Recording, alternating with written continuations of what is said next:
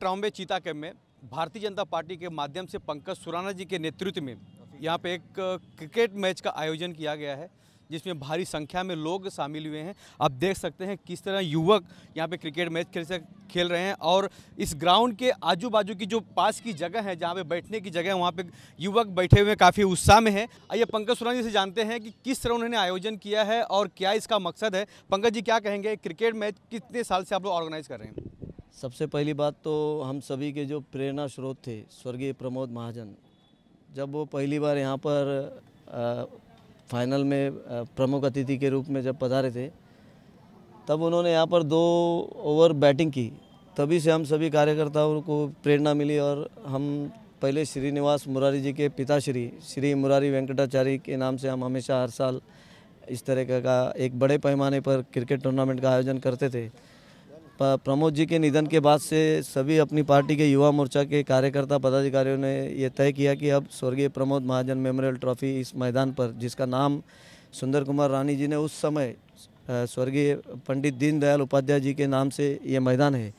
तो पंडित दीनदयाल उपाध्याय जी, जिनका जो लक्ष्य था समाज के अंतिम तबके तक, दुखी तक सरकार की योजनाएँ और दुखी आदमी का दुख दूर करने का जो लक्ष्य पंडित दीनदयाल जी ने हम सभी को दिया है उसी को आगे प्रमोद जी और हमारे सभी राष्ट्रीय नेता, महाराष्ट्र के नेता बढ़ा रहे और तभी हम सभी कार्यकर्ता, पदाधिकारियों ने तय किया कि अब प्रमोद जी के निधन के बाद इस मैदान पर स्वर्गीय प्रमोद महाजन मेमोरियल ट्रॉफी का ये छठा साल, इस छठे साल के उद्घाटन में आज अपने कार्य सम्राट माजी नगर सेवक और अपनी मुंबई की एकमात्र तेज तर्रार नगर सेविका, अपनी भाभी माँ, जिन्होंने खासदार की पत्नी का कारपोरेशन चुनाव में पराभव कर कर अपने विधानसभा में जो कमल का एक भारतीय जनता पार्टी का नगर सेविका के रूप में चुन के आई है। जब से वो चुन के आए, उनके विभाग के साथ साथ वो बाजू के पूरे जो पाँच विभाग है अपने विधानसभा में, उसमें भी उनका पूरा सहयोग रहता है और आने वाले छः दिन और ये कार्यक्रम यहाँ पर चलने वाला है और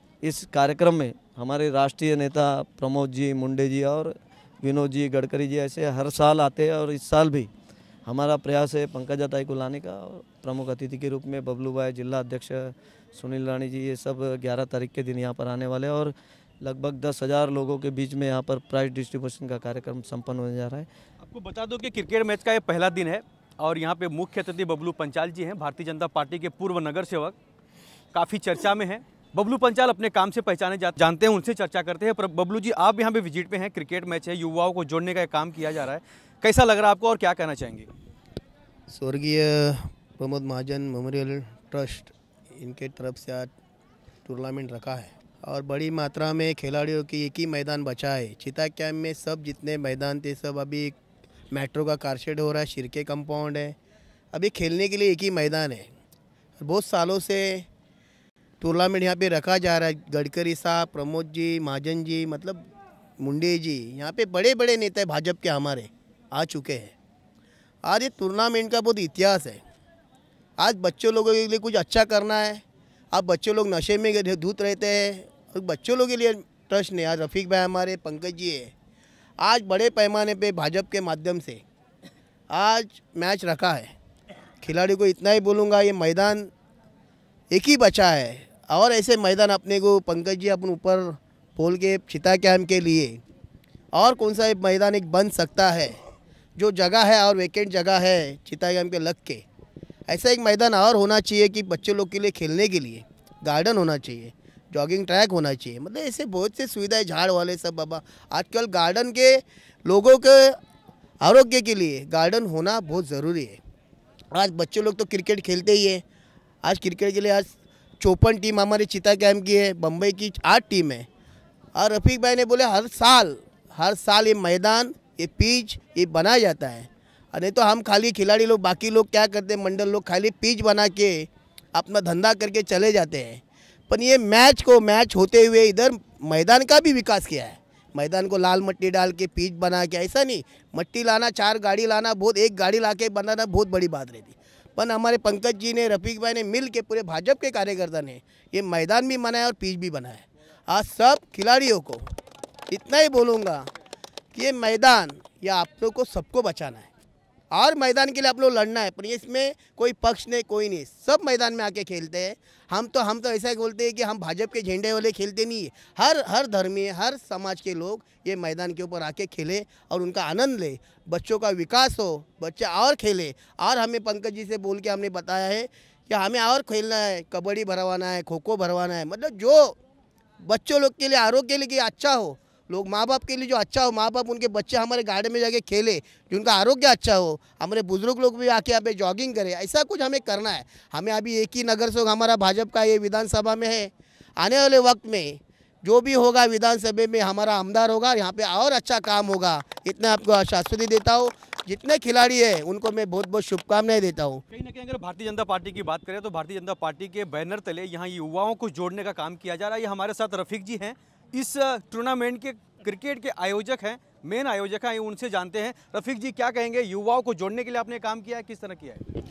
पहली बात तो मेन आयोजक मैं नहीं, मेरे बड़े भाई पंकज सुराना है, जिन्होंने हर साल इस मैदान पर, इस साल में यहाँ कैसा होता है कि टोटल सत्तर टीमें हैं चीता कैम्प के अंदर। यहाँ क्रिकेट एक ऐसा जुनून है कि काफ़ी यंग लोग, यहाँ बहुत से बड़े बड़े खिलाड़ी यहाँ खेल कर खेल कर चीता कैम्प में, चीता कैम्प से ही इंडियन प्रीमियर लीग, आईपीएल में राहिल शेख जैसे लोग खेले हैं।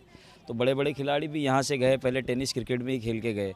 तो इसी तरह से ये एक मैदान हमारे पास बचा है। उसमें काफ़ी सालों से, हर टूर्नामेंट होते, साल में तीन से चार टूर्नामेंट होते, या तो दो होते। तो उसमें हमेशा से क्या होता है कि ग्राउंड की सफ़ाई ये नहीं होती, क्योंकि जितना भी टाइम उसमें लगता है, पैसे लगते, लोग ये सोचते हैं कि ये खर्चा क्यों करें टूर्नामेंट हम चला दें। लेकिन पंकज सुराना जी ने हमेशा से ये चीज़ किया है कि चाहे पैसा कितना भी लगे, अगर हमको टूर्नामेंट रखना है तो अच्छी तरह से रखना है। इस तरह से मुंबई की मुंबई की आठ टीम और इंटर चीता गेम की 56 टीम टोटल पार्टिसिपेट कर रही है। तो इस वजह से हम लोग ने एक उदाहरण पेश किया है कि अगर टूर्नामेंट किसी तरह से खिलाया जाए तो इस तरह खिलाया जाए। हमको किसी को नीचा नहीं दिखाना है, लेकिन हमको अच्छी तरह टूर्नामेंट रखना है। किसी से अच्छा नहीं रखना है बट अच्छे के लिए अच्छी टूर्नामेंट रखना है और अच्छे से खिलाना है। इसी कारण की वजह से हमने ये टूर्नामेंट ऑर्गेनाइज किया। कहीं ना कहीं ये सही बात है क्योंकि अगर बच्चों को यहाँ पे खेलना है युवाओं को अगर यहाँ पे खेल खेलना है क्रिकेट मैच खेलना है कबड्डी खो खो खेलना है तो इस ग्राउंड को बचाना होगा और इसकी सुरक्षा करनी होगी इसकी देखभाल करनी होगी। आइए अरुशक्ति नगर विधानसभा की मात्र एक भारतीय जनता पार्टी का ऐसी नगर सेविका हैं उनसे जानते हैं। वो यहाँ पे विज़िट पे हैं। मैम क्या कहेंगे? आज आप यहाँ पे विज़िट पे हैं क्या कहना चाहेंगे? मैं सबको शुभकामनाएँ देना चाहती हूँ। धन्यवाद। देखा यहाँ पे भारतीय जनता पार्टी के माध्यम से यहाँ पे क्रिकेट मैच का आयोजन किया गया, जिसमें भारी संख्या में युवाओं ने भाग ली है। कहीं ना कहीं ये क्रिकेट मैच इस चीता कैम्प और भारतीय जनता पार्टी के लिए काफ़ी एक चर्चा के विषय माना जा रहा है। कहीं ना कहीं एक क्रिकेट मैच एक युवाओं को जोड़ने का काम किया जा रहा है। कैमरा आनंद गौड़ के साथ राज पांडे सी न्यूज़, मुंबई।